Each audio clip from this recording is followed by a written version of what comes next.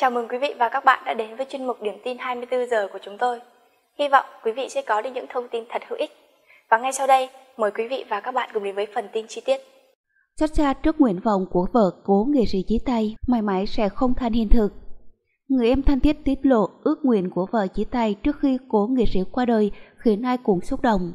Mới đây một người em thân thiết đã chia sẻ bài viết khá dài nói về những kỷ niệm với hai vợ chồng cố nghệ sĩ Chí Tay.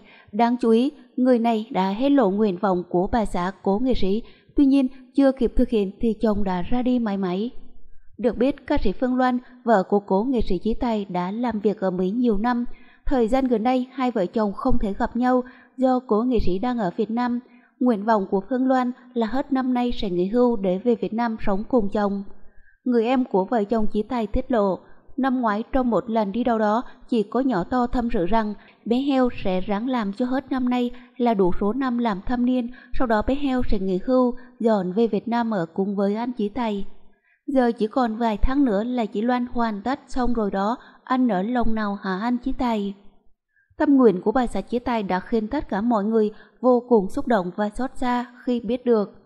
Trước đó, chồng ca sĩ Thu Phương cũng cho biết cố nghệ sĩ Chí Tài đã mua căn hộ cao cấp ở Phú Nhuận, thành phố Hồ Chí Minh để vợ về ở chung nhưng không thể chờ được ngày đoàn tụ